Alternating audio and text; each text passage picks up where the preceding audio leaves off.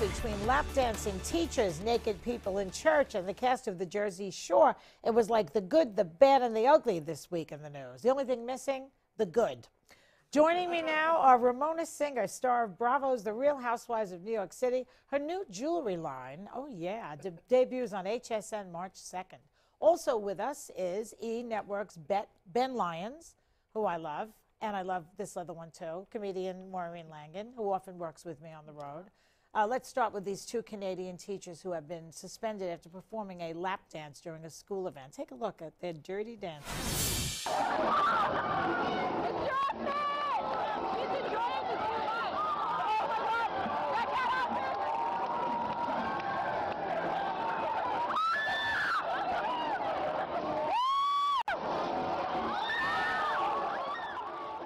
You know, and I always hated gym.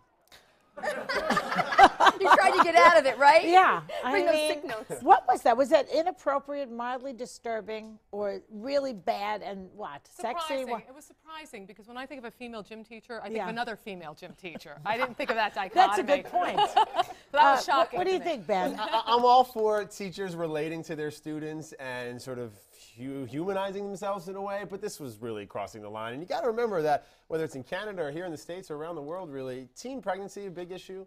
Uh, under you know, kids having sex unprotected in high school is a big issue, and I think that kind of condones that and encourages Yeah. that. And it's just really not Ramona, how about how about a reality show? So you think you can stop? I don't know. I think it was totally inappropriate. It was was. a I mean, who's rally. monitoring the teachers? We usually we send the children to Thank school. you. They're supposed to be monitoring. Now, do we need adults to monitor the teachers? Yeah, exactly. Go ahead, Well, no, I said it's a pep rally. But the thing is that's interesting is they get suspended. Well, you know what they're going to be doing during their suspension. You're suspending these two so they can have more time? I know, but then I, they, they can't teach uh, anymore. Yeah, exactly. that If was- you're- Ed, if they you're- can. if- They can teach sex sex, ed, ed, Right. sure. If you're a student in one of their classes, how are you going to take a teacher seriously when they tell you to turn your homework in on time or to do a certain reading or assignment when you've seen them do a really awkward lap dance, by It's the way? kind And of as far as lap dances go, it wasn't even really a It wasn't good that good. But wasn't it fascinating that it's Canada? I mean, you always think of the Canadians, eh, you know, as so straight laced, A, eh, you know, all that stuff. I stuff. see. I don't. I've performed in Canada, and you watch the television there. They seem more open than, than we do. So Maybe that's it's Fre- part of you know the French You area. think so? French Canadians. All Talk Mounties. I'm sorry. That's All right. terrible. Oh, that was That's good. terrible. I, I oh, had to do it. I'm sorry. All right, he went there. That's all right. A church in Virginia, let's do another story, Oh, yeah. is bringing a new twist to the old time religion. Everyone at this church is nude, including the pastor. Take a look at this. Let us hear what exactly what you got planned for us, Father. We ask these things in Jesus' name. Amen. Some of the biggest moments in Jesus' life, he was naked. Uh, when he was born, he was naked. When he was crucified, he was naked. And when he arose, he left his clothes in the tomb and he was naked. If God made us that way, how can that be wrong? You know, it's a nice idea, but where do they hang the rosary beads? Around their neck. do you think, what do you think? You think this is going to catch on around the world? You know, nude uh, church ceremonies? Not in my Irish Catholic Yeah, really? Are you kidding me? We grew up, our God didn't like nudity. He liked self loathing, shame, and guilt. That's the kind of God that we had, Oh, and we that's had an the same appropriate God. God. Yeah. Talk about you know meeting a nice church girl. I don't know. This takes it to a whole new level. The body is a temple, I suppose, Yeah. but I don't know. Well, this they is could do it in a temple on. also. But I can't imagine. I mean, you're in church, and I can't imagine seeing all these naked people. I mean, I, I don't Yeah. think I could No concentrate on beauties prayer. either, I'd like to point out. It would make it scary to give the sign of peace. You don't know where those hands have been, right? You don't want to do that. I just think Come being on. in- I just think being in church and seeing a lot of people clothed or unclothed is kind of a rare thing these Yeah. days. People aren't practicing the way they did years ago, and so if it gets people into church, and Well, let me read this. The church is their part of a year round nudist resort, and they say business is up 20%, even in this economy. So I guess naked is good for business, right? Well, you know what? I read. I was reading the article, and they had said that um, the parishioners don't know who's wealthy, who's poor, who the plumbers are. And I'm thinking, of course you know who the plumbers are. You're saying everybody's crack. Right. I'm back with my panel of pop, pop culture pundits. This week, the cast of Jersey Shore came to The View, my other show, and I was crowned with my very own Guido nickname. Take a look. I was sitting backstage. I did hear uh, some of Joy's opinions, so I'm going to go with the assumption. The assumption. It's like the, uh, the Blessed Virgin Mary, the Assumption, remember? Isn't that what that means? The assumption when the Virgin Mary rose into heaven, right? That's right. So I, I don't I don't mind that name. I was a very nerdy kid, say when I was a, when I was young. I used to wear Bermuda shorts and you know I used to go to the theater and I was surrounded by kids like this who wanted to beat the living crap out of me, and that's why I don't like them. But they can't move their arms with all those steroids. They weren't going to hurt you.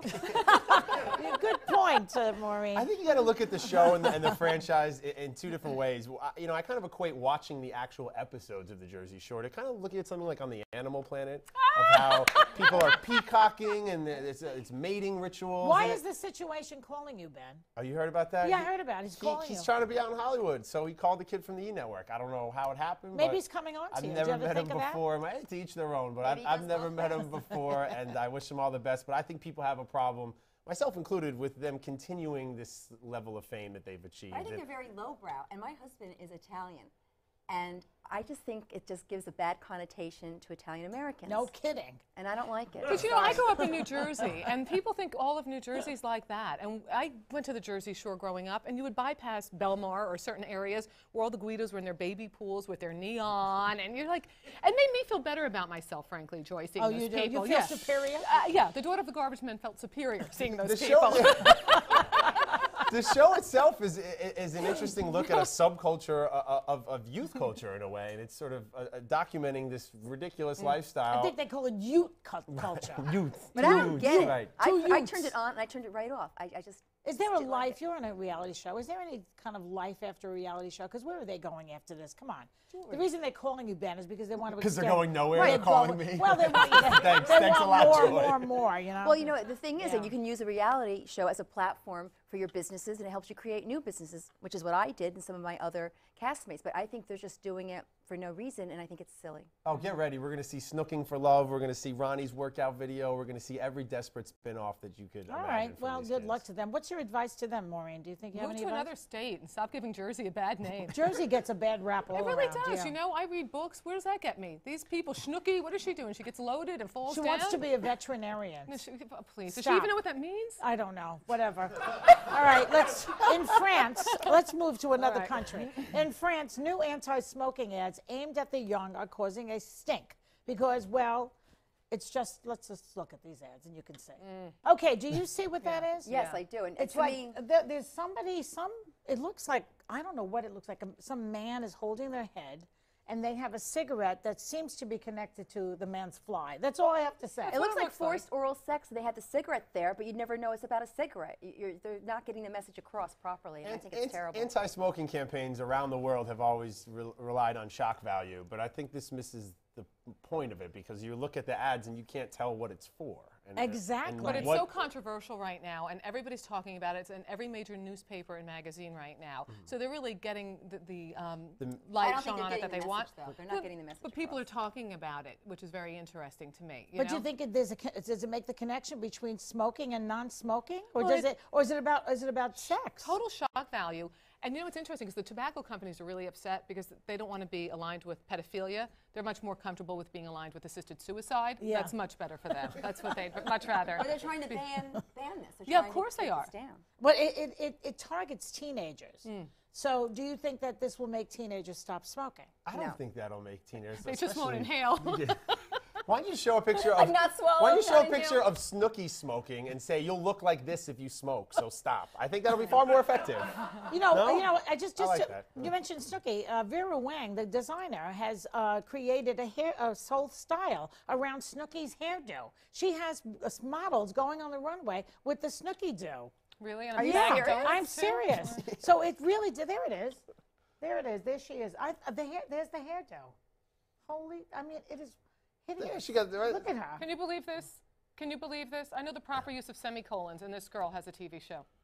I can't. You Okay. know. I come know, I know. Listen, I've been on their case all week. Thanks, everyone, very much. Up next, the latest on Charlie Sheen's rehab stint.